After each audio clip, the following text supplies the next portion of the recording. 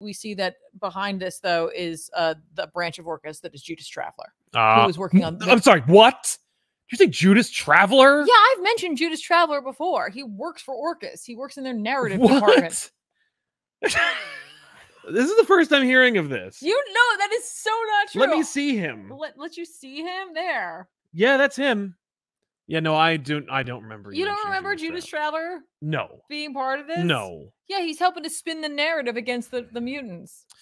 I mean, Judas Traveler telling good stories is a little hypocritical. Don't you think?